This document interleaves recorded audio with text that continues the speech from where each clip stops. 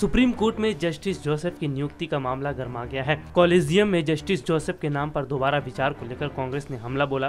कांग्रेस नेता कपिल सिब्बल ने कहा कि हिंदुस्तान की न्यायिक व्यवस्था खतरे में है। उन्होंने कहा कि सरकार अपने लोगों को न्यायिक व्यवस्था में लाना चाहती है।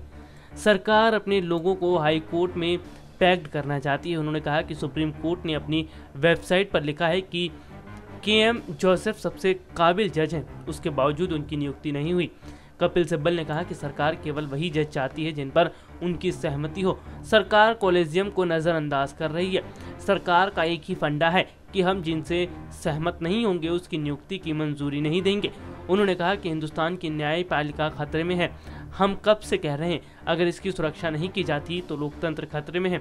उन्होंने कहा कि जिस शख्स ने इस पर पहली पीआईएल दाखिल की है वह नागपुर से और उनका नाम सूरज लोलगे है। सूरज लोलगे बीजेपी और आरएसएस के खासम खास हैं।